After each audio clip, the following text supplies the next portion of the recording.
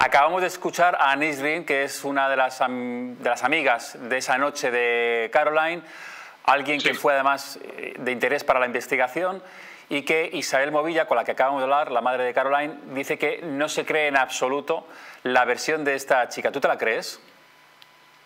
Bueno, hay muchas cosas aire. La verdad que es muy, contradictorias.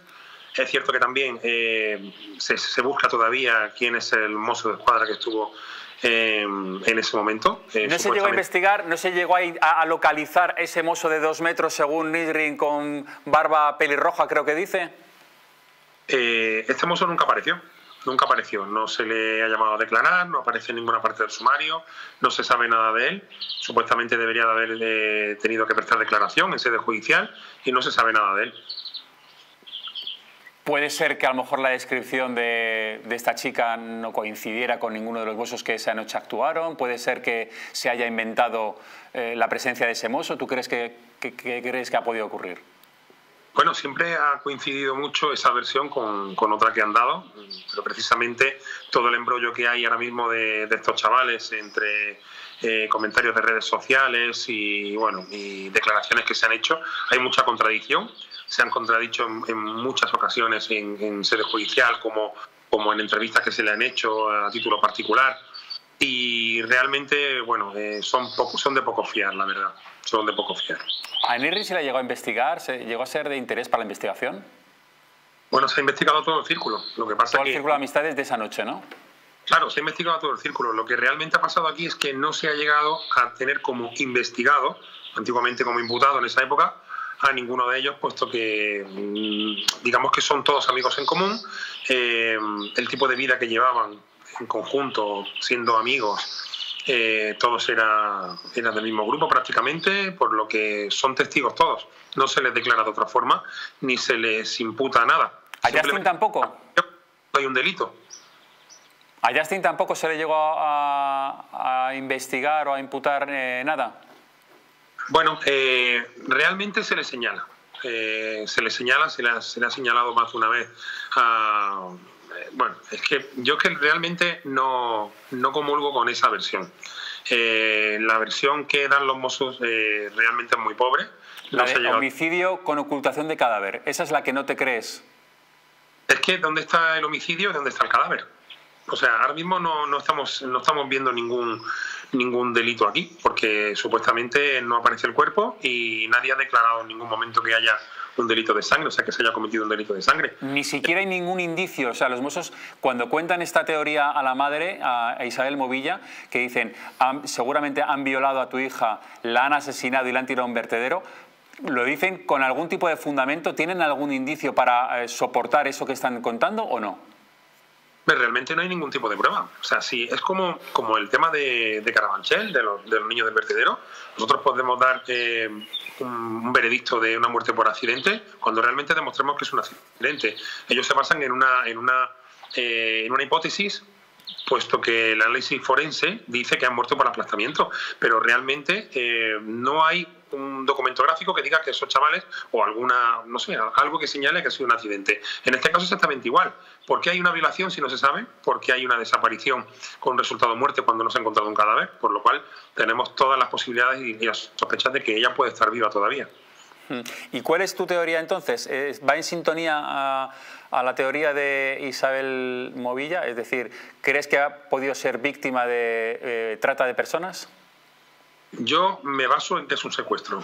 Eh, para mí la hipótesis principal es un secuestro, evidentemente un secuestro eh, donde seguramente esté retenida, donde seguramente no tenga posibilidad de poder llegar a contactar con su familia y al mismo tiempo creo, creo que en cualquier momento podríamos tener noticias y podría ser muy reveladora eh, alguna información que estamos ya empezando a cotejar.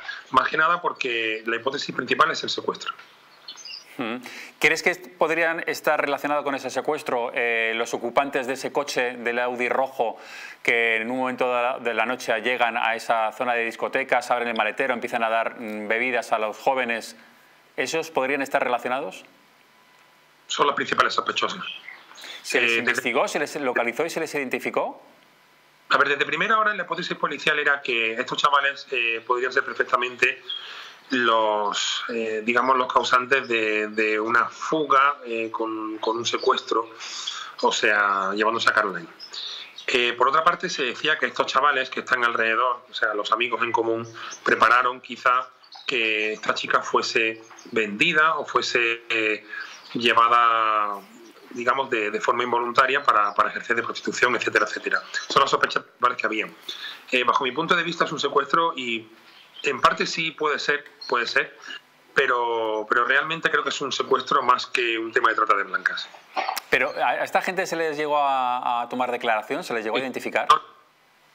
No, se les ha investigado quiénes eran y se ha intentado saber dónde están, dónde se ubican. Hay mucha información al respecto. Y, es verdad que aunque haya mucha información, mm, no, no se ubican en el país, no están en España. ¿Y tienen antecedentes? Sí. ¿Antecedentes aquí en el, eh, antecedentes policiales o judiciales? Sí, correcto, no, antecedentes policiales, y, pero lo que pasa es que se sabe de las prácticas habituales que tienen, evidentemente pues estamos hablando de, prácticas delictivas, pero no están, ahora mismo no están ubicados en España. Se les ubica antecedentes están relacionados también con secuestros de alguna otra persona o, algo parecido o no? Algo parecido. algo parecido. Sí. podríamos, podríamos hablar varias cosas, pero en principio, como hay una investigación abierta, vamos a tener un poco de cautela pero mm, digamos que van por ahí, va por ahí el, la hipótesis va por, por un secuestro y evidentemente... ¿Y Nisrin, esta chica, tú crees que estaba realmente relacionada, que sí que conocía a, estos individuos? Sí, evidentemente. Porque ella lo niega, ella la acabamos de escuchar diciendo yo a esos no los conocía, no sé quiénes son, ni siquiera me acerqué. Bueno, estos chavales ya no, no, era la primera vez que habían estado allí, ya se conocían en el grupo. Eh, ellos sabían perfectamente que les suministraban alcohol, que les estaban dando, digamos, el, bueno, les estaban dando el tipo de vida que ellos querían, porque los chavales estaban empezando a moverse. Eh, todos los amigos empezaron a tener dinero cuando esta gente apareció en escena.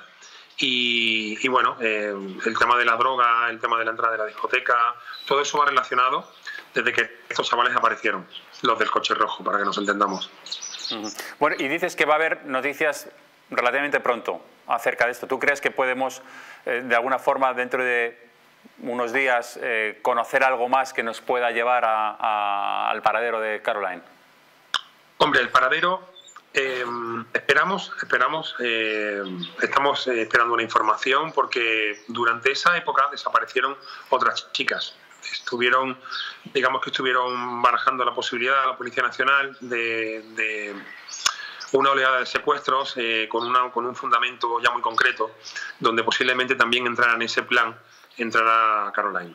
Entonces, eh, no, no tiene nada que ver, quizá, esos secuestros con el de Caroline, pero por otra parte sí un mismo modus operandi, por lo que se está investigando directamente eh, esos sucesos que van en misma relación. Pues ojalá, ojalá que haya novedades y, bueno, que haya por lo menos un poco de luz en este caso y, a ver si podemos contarlas aquí en La Huella del Crimen. Gracias, Carlos. Seguramente. Muchísimas gracias también. Un fuerte abrazo. Un saludo. Eh,